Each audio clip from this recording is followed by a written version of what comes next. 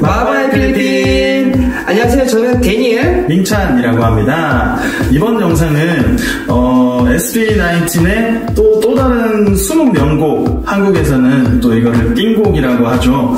한강싸 훌리. 네 한국말로는 끝까지라는 이 서정적인 또 노래에 저희가 리액션을 또 해보려고 합니다. 자 긴 말 필요 없이 영상 먼저 보러 가시죠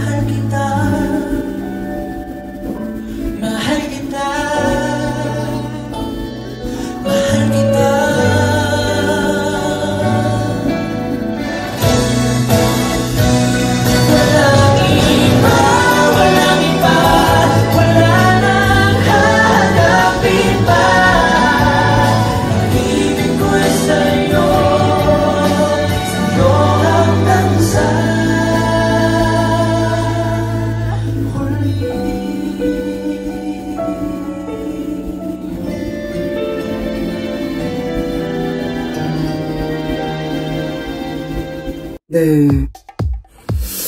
잘 봤습니다. 와. 일단은 뭐 저희가 전에 리액션 했던 Tilaluha와는 이제 전체적인 분위기가 좀 비슷하기는 한데 이 노래는 조금 더 제가 가사랑 같이 봐서 그런지 모르겠는데 좀 더 뭐라 해야 되지? 이 세상이 끝나도 나는 계속 너를 사랑할 것이다. 변치 않은 그런 사랑에 대한 마음을 너무 잘 표현을 했고 특히나 우리 스텔이라는 가수 분께서는 어, 노래 정말 잘해요. 어, 노래 예. 정말 잘해요. 고음이 네. 엄청나고 어, 또 중간 중간에 이제 그 마지막쯤에 이제 마을기타라고 이제 계속 새, 외치잖아요. 네, 새 멤버가 한 명씩 한 명씩 한 명씩 딱 그렇게 부르는데 아마 거기서 이제 이 여성 팬분들이 어, 하지 않았을까 싶습니다. 다니엘 씨는 어떻게 생각하나요? 어, 저도 진짜 Hanggang sa Huli라는 곡을 듣고 이제 좀 느낀 게 전체적인 곡 분위기가 이제 한국 발라드의 서정적인 이제 감정을 좀 표출을 했고요. 그리고 이제 또, 어, Tilaluha랑은 또 다른 또 느낌을 또 전달받았어요. 이제, 어, 요번에 나온 이제 Hanggang sa Huli라는 곡은 huli라는 뜻이 이제 종료라는 뜻이라고 음, 하더, 예, 하더라고요. 근데 이제 그 종료라는 게 정말 이제 여러 가지의 또 의미를 또 갖고 있다고 저는 생각이 들어요.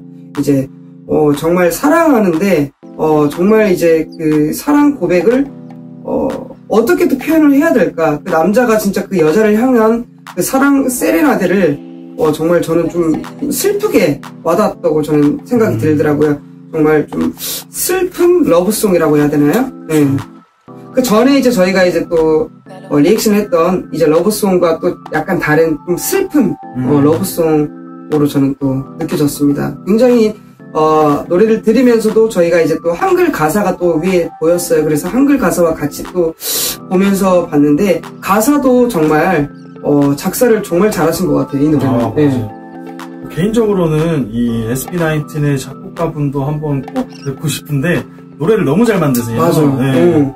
일단 여기서 또 다시 한번 느껴지는 게 SB19는 댄스만 잘하는 아이돌 가수가 아니라 노래 실력까지 겸비한 가수라는 걸 정말. 보컬적인 부분에서는 어, 대단합니다. 네. 정말 계속 들으면 들을수록 저희가 정말 욕심이 나는 게 뭔지 알아요? SB19과 같은 무대에 저희가 음. 서는 게 너무 좋죠. 어, 계속 이제 이 SB19를 접하면 접할수록 정말 이 매력을 어, 정말 빠지지 못- 못할 것 같아요. 예. 어, 그러면 SB19이랑 같은 무대라면은 고업을 추실 건가요? 어, 고업이라는 거는, 예, 민찬 씨가, 예, 민찬 씨가 여러분들께 또 보여드릴 예정입니다. 예, 저는 브레이크 할 거고요. 예, 민찬 씨가 이제 고업을 할 예정이니까, 어, 근데 이제 일단은 SB19이 다섯 명의 보컬로 또 이루어졌기 때문에, 이제는 또 발라드, 어, 이제 또 서정적인 노래 같은 경우에는 저희가 같이, 음. 어, 민찬 씨와 이제 데니엘이 같이 한번 콜라보로, 어, 듀엣으로 한번 여러분들께 보여드리도록 하겠습니다. 많은 기대 부탁드리고요. 오늘도 어김없이 모두 스튜디오 구독과 좋아요 눌러주시면 감사하겠습니다. 예, 마지막 인사하고 이제 저희가 마무리 짓도록 하죠. See you next time. 감사합니다. 말기타.